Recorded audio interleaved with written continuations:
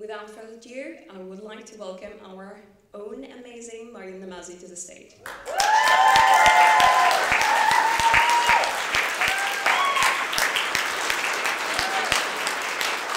Hi everyone, welcome, welcome, welcome to the first ever International Atheist Day. What a great day it is. Uh, we remember very clearly those of us who are part of ex-Muslim groups.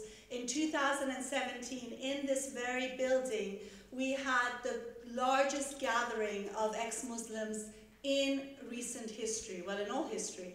And uh, it was there after the conference that we had a strategy meeting of various ex-Muslim organizations across the globe, and we decided that we want to have an International Atheist Day, and that we want to have a day where people can come out and say, yes, we are atheists without being ashamed, without having to hide, and without having to be fearful, to normalize it in such a way.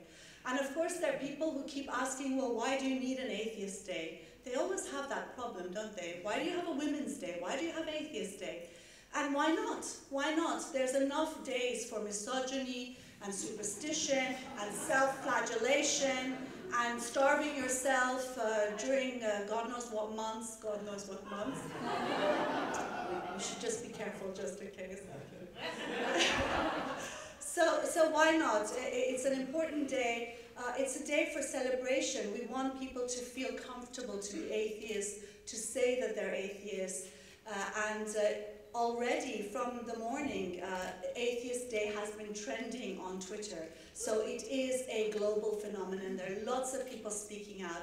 And of course, we have that responsibility, especially because there are so many across the globe that are in hiding, including also in Europe, but that are dying, that are literally dying because they are atheists. We are here to remind the world that religion and religious beliefs, of course, is a right. People have a right to believe in any nonsense that they want, and, that's part of their human rights. But freedom of conscience, a freedom of expression, includes the right to be free from religion, includes the right to mock religion, to dislike religion and to criticize it and poke at it in any which way we can. So today we're focusing on ex-Muslim women because women in particular are very often hidden, especially uh, amongst dissidents within minority communities, and also uh, because of our great activists, despite that, are actually women, and we wanted to have an opportunity to bring everyone together. So enjoy yourself, there's going to be great discussions, dancing, we want to see your moves. And if they're not good, we'll give you some lessons. Okay. Uh, so thank you for coming. I'm so glad you're here, and I hope you really have a wonderful evening tonight. Thank you.